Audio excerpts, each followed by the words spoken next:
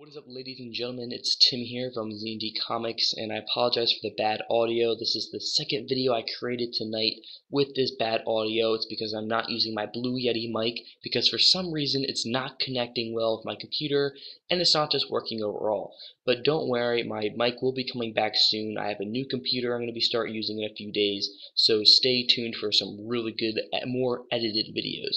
But today I want to talk about LEGO Batman 3 and two new pictures we got on the game. So a lot of leaked pictures have been coming out uh, recently.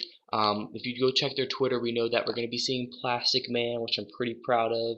Uh, Plastic Man is one of my favorite characters. I really wish he wasn't getting made fun of. I mean, yes, he's a character that you make fun of, but think about it, like, um, who is it? The Marvel character that has the same powers as him. It's uh, I can't even think of him. I'm sorry, I'm not a Marvel fanboy, but like Plastic Man, he's awesome. I'm glad he's getting a push. But anyway, the first picture you've been looking at on the screen right now is a picture of the Justice League, and they got 10,000 followers. I think it was on their like Lego Batman Instagram. It was so. Congratulations to them. Uh, you get a picture of the Justice League. Not really anything big, but this other picture is pretty interesting. It is a picture of Bat-Mite. Yay! Who doesn't like Bat-Mite?